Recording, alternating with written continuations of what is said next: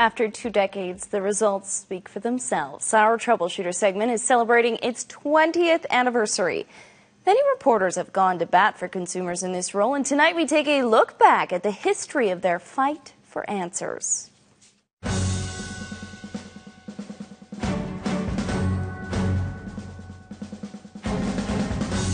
It started with an idea in our newsroom. From those who love to ask the tough questions. Are you licensed yet with the province to take money up front? Uh, I don't really see that's any of your business. Troubleshooter grew into a household name.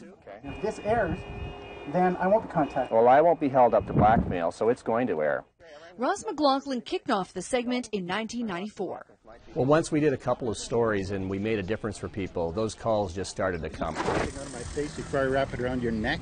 The troubleshooter segment gives people an opportunity to feel like they're being heard. It gives them a voice. Why did you tell us you were a licensed mechanic when you're not?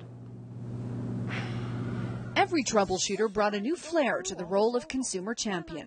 You keep 25% of a customer's money even when the, your equipment doesn't work?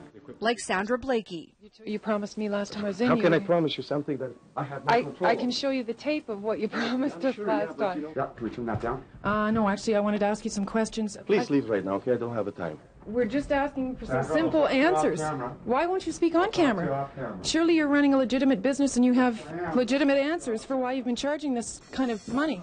And Robin Stickley. Why won't you return these calls? Were you making promises, though, that you knew you couldn't keep to these people? Hi there, calling about your Grey Cup tickets in the Journal today. What are you asking for them? Ten years ago, I took on the role. Don't you care about what that family is going through? I mean, look at that. Look at your my skin, look at your colleague. Come to that. We're just trying to get some answers for the people who are out money. Why do you lie to women? Well, I don't do that. Yes, you do. Troubleshooter has always been about helping our community, one problem and one person at a time. Felt like a huge weight was lifted off our shoulder. Now we can kind of start living our life in our house.